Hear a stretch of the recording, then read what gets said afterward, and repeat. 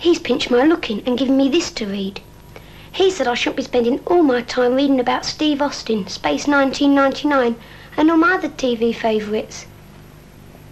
I don't even get to read the sports stories, the pop features, or do the great competitions.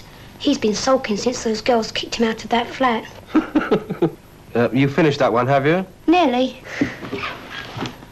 Look out for Look In every week and Britain's newest pop sensation, Slik, are on the cover of the new Look In. There's a big feature on the group, including a double-page colour pin-up, plus the start a weekly picture strip, Slick Stories. You could also win a copy of their new album in a free competition.